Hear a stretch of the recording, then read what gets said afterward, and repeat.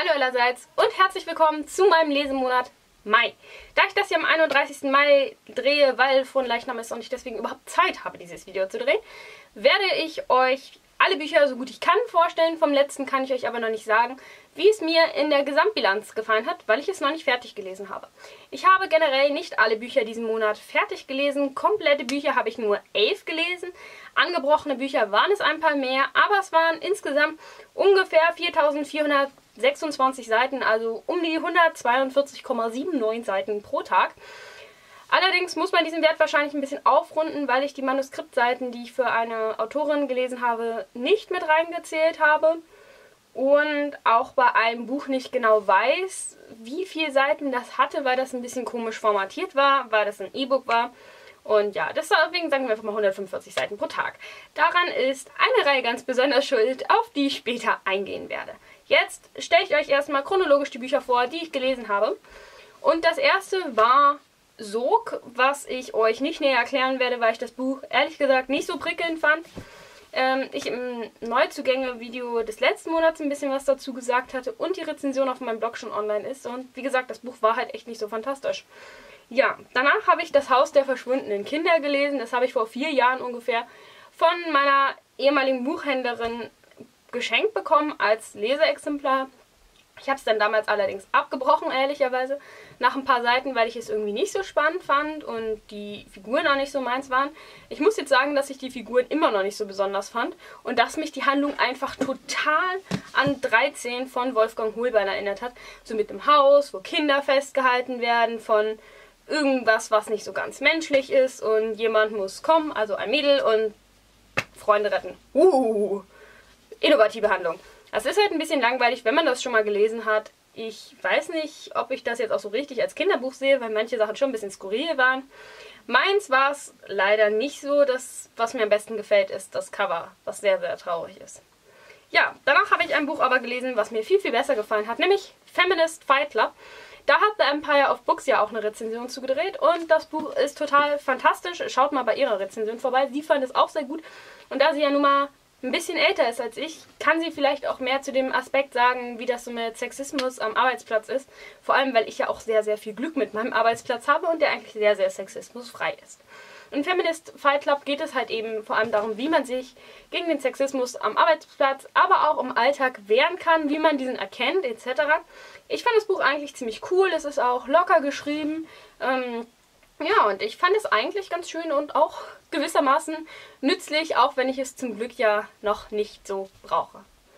Danach habe ich ein Buch gelesen, was nicht mit Feminismus zu tun hatte, das erst wieder das Buch danach, nämlich Haniesha, eine Legende aus Iowa.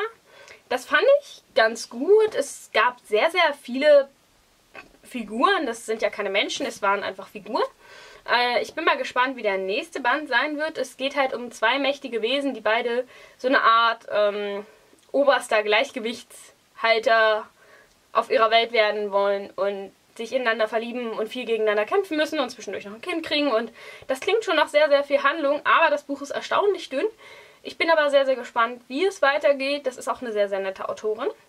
Und danach habe ich gelesen, ja, ich weiß, dieser Übergang war jetzt gerade total brüchig, aber nun denn.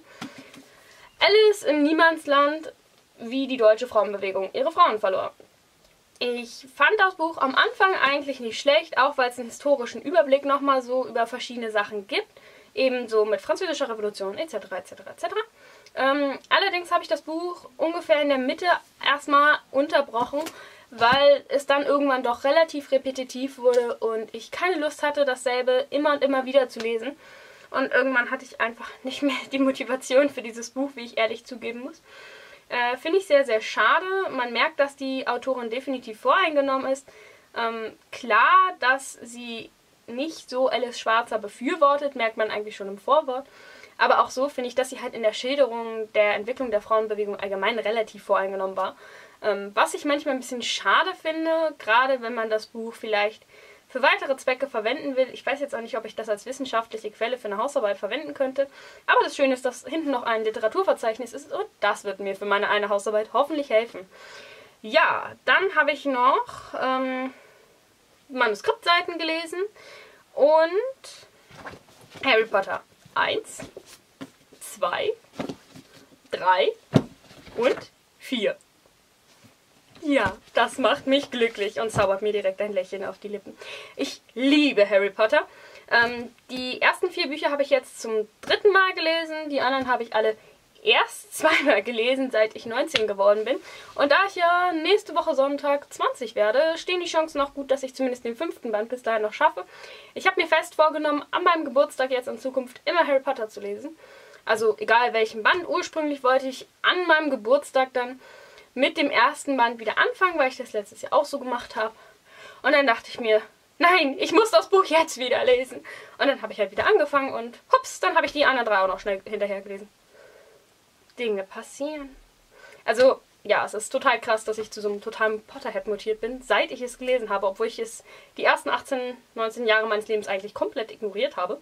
Also abgesehen von den Filmen. Ich meine, jeder von uns ist mit, mit den Filmen aufgewachsen, oder nicht?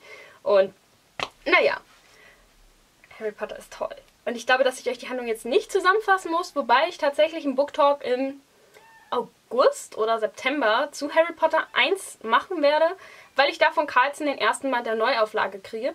Und wenn ihr da irgendwelche Fragen, Anregungen oder sonst was habt, gerade zum ersten Band der Harry Potter Saga, dann schreibt mir das am besten hier unten in die Kommentare, dann kann ich das für das Video dann nämlich berücksichtigen.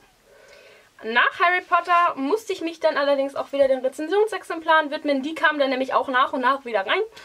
Und da habe ich dann Und bist du nicht willig, so brauche ich Gewalt aus dem Papierverzieher Verlag äh, gelesen. Davon blende ich euch das Cover hier mal irgendwo ein, weil es ein E-Book war. Hm, also es ging um zwei Auftragsmörderinnen, die derselben Familie angehören und die einen Auftrag hatten, der sie quasi gegeneinander gesetzt hat. Und dann finden sie raus, dass sie so eine Art von gemeinsamer Vergangenheit haben. Und ich fand manches von dem ziemlich offensichtlich, was ich sehr, sehr schade fand. Und das Buch war halt total merkwürdig formatiert, deswegen kann ich euch nicht sagen, wie viele Seiten das hat.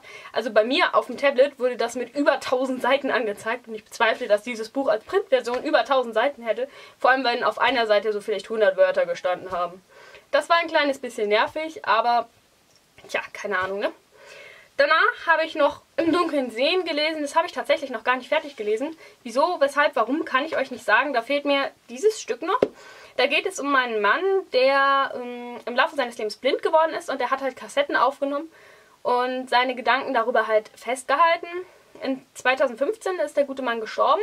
Ich finde das Buch total interessant, weil man sich ja selten damit beschäftigt, wie das so wirklich ist, wenn man blind ist.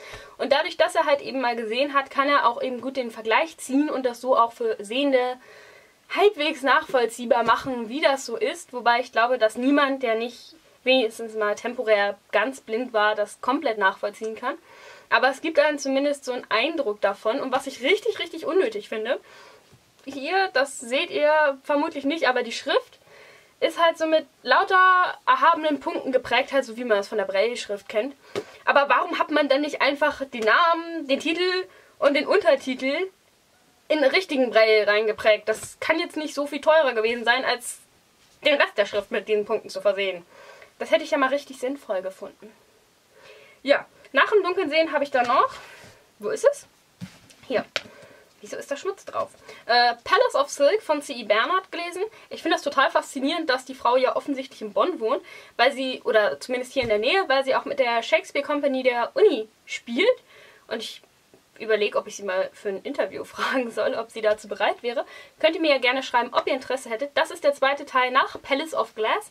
Und das ist so, dass es zwar in unserer Welt spielt, aber äh, es Magdalenen gibt, also Leute, die durch ihre Berührung der Haut die Erinnerungen oder Gefühle oder Gedanken, das kommt immer ein bisschen drauf an, was man für eine Magdalena ist, von anderen Menschen lesen und eben auch beeinflussen können. Und deswegen ist in England das unter Strafe gestellt und dann ist die Protagonistin, die halt selber eine Magdalena ist, nach Frankreich geflohen, nachdem es einiges hin und her im ersten Band gab. Und jetzt gerät sie halt eben wieder in Gefahr. Und ich fand das wieder sehr, sehr gut. Ich mag die Geschichte sehr und bin schon sehr gespannt, wie es weitergeht.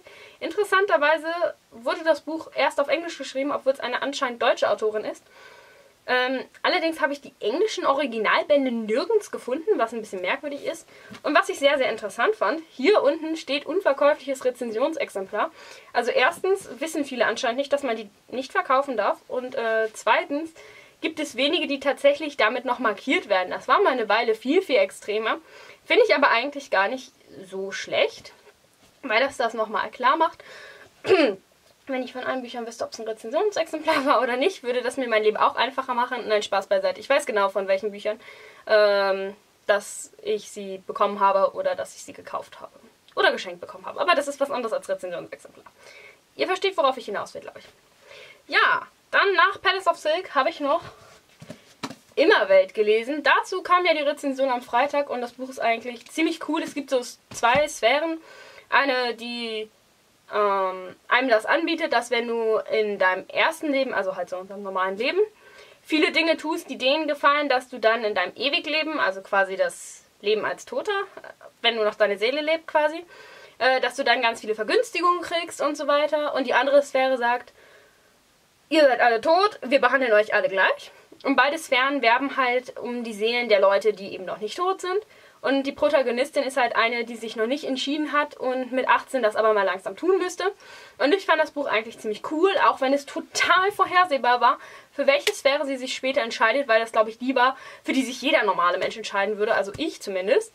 Ähm, ich weiß nicht, ob ich normal bin, aber ich behaupte das an dieser Stelle jetzt einfach mal. Und was ist schon normal?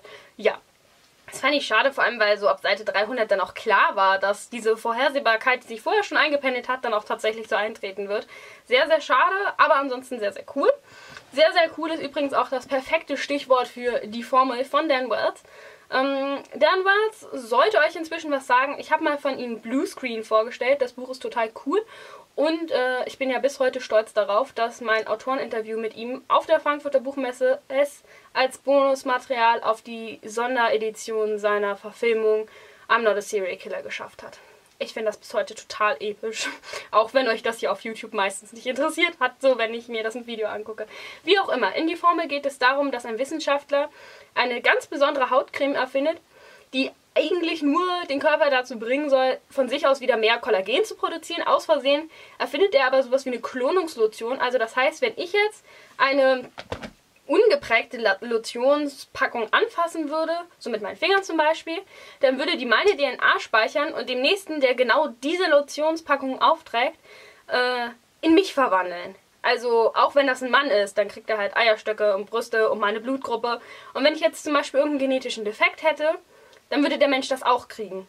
Aber wenn ich diese Klonungslotion zum Beispiel an mir selber anwenden würde und sagen wir jetzt mal eine Blinddarm-OP gehabt hätte, dann würde ich mich selber klonen und überschreiben und weil in meiner DNA ja eigentlich noch das Rezept für einen Blinddarm mit drin ist, hätte ich dann wieder einen Blinddarm. Finde ich ziemlich cool. Der Wissenschaftler warnt dann am Anfang auch äh, in seiner Firma davor, dass das ja wahnsinnig gefährlich ist und dass man das als Biowaffe verwenden kann und alles. Die sind natürlich profitgeil und es kommt, wie es kommen muss. Diese Lotion kommt unter die Leute, das komplette Chaos bricht aus und äh, ja, ich finde das bisher total cool. Ich bin mal sehr, sehr gespannt, wie es weitergeht. Ich bin jetzt, also das habe ich jetzt schon gelesen und das fehlt mir noch. Also ich bin so, keine Ahnung, zwei Drittel oder was auch immer das ist. Und ich fand das einfach bisher total cool. Manche Sachen sind natürlich ein bisschen erratbar, dass sie kommen werden. Aber es ist eindeutig nicht so vorhersehbar, vorhersehbar wie immer Welt, sondern eben vielmehr so, dass man so die dumme Vorahnung hat, dass sich das in die Richtung entwickeln könnte. Das ist dann mehr so wie eine Befürchtung als wie eine Vorahnung.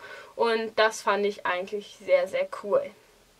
So, wie immer kommt ihr in das Vergnügen, noch einen kurzen Abriss von dem zu kriegen, was ich im Mai so gemacht habe. Äh, vorerst habe ich allerdings eine Frage für euch. Ihr habt auch vielleicht schon gesehen, dass es hier oben irgendwo eine Abstimmung gibt. Nämlich, ob ich den Lesemonat und die Neuzugänge wieder zu einem Video zusammenfassen soll.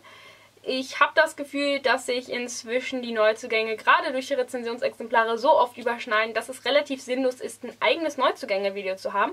Das würde mich sehr interessieren, ob ich das wieder zusammenlegen soll oder ob ihr sagt, dass es zwei Videos bleiben sollen. Wenn ich das Neuzugänge-Video streichen würde fürs Erste, würden dafür mehr sowas wie das Video von letzter Woche kommen, also meine fünf Lieblingsbücher, die kein Mensch kennt oder naja, sowas in die Richtung eben. Ansonsten habe ich im Mai nicht viel gemacht. Ich habe eine Hausarbeit angefangen am 1. Mai und ich bin mit ihr fertig. Das ist für mich völlig unglaublich, dass ich nach ungefähr 20 Tagen mit dieser Hausarbeit fertig war. Ich lasse sie momentan noch Korrektur lesen, was glaube ich die erste Hausarbeit ist, die ich jemals Korrektur lesen lasse von irgendwem. Ähm, Aber faktisch könnte ich jetzt schon mit der nächsten anfangen. Ich muss ja noch zwei schreiben. Aber ich bin momentan so ein bisschen unmotiviert, die anzufangen. Also ich habe sie schon angefangen, aber mit der Quellenlage ist das mal wieder ein bisschen schwierig. Und ja, könnte es, glaube ich. Naja, ähm, so. Ansonsten habe ich tatsächlich nichts Spannendes gemacht. Also wirklich nichts. Ähm, ich habe ein bisschen an meinem Manuskript weitergeschrieben. Ich habe sehr, sehr viel gelesen, offensichtlich. Ähm, ich vernachlässige mein Schwedisch so ein kleines bisschen, weil ich seit meinen Erasmus-Ablehnungen für Schweden und meine Bestätigung für Schweiz gekommen ist, ähm, irgendwie unmotiviert bin, Schwedisch weiterzulernen, was halt blöd ist, weil ich das eigentlich noch vertiefen muss. Beziehungsweise ich habe es mindestens dieses Semester und ich glaube nicht, dass ich Skandinavistik vertiefen will. Ähm, weil das einfach nicht so mein Ding ist, denke ich. Und ja, also ansonsten ist wirklich nichts Spannendes. Ansonsten ist bei mir tatsächlich nicht viel Spannendes passiert.